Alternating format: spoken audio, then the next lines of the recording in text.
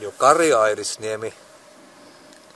Ihan sukuni Airisniemi on tästä ihan muutaman kilsan päästä Airisniemeltä lähtöisin. Tämä pilkkiminen on tämmöistä erittäin rentouttavaa touhua tämmöisessä puhtaassa luonnossa.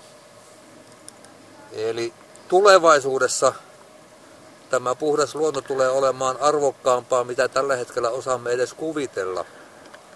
Työpaikkoja taatusti syntyy luonnon kautta.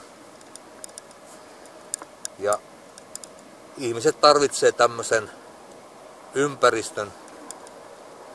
Senpä johdosta en ole kaivoksen kannattaja ja olen sitä mieltä, että Pohjois-Kuusamo ei ole sopiva paikka kaivoksille lainkaan.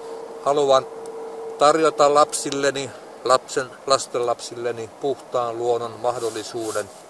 Kitka, Oulanka on arvokasta seutua. Muuten olen huomannut sen myöskin täällä Kuusamossa, että hyvin paljon on, tällaista toisten haukkumista, mollaamista. Eihän sellainen tie mihinkään vie. Yhteistyössä meidän pitää viedä aluettamme, seutuamme eteenpäin, markkinoida omaa aluettamme ja luontoamme. Äänestäkää!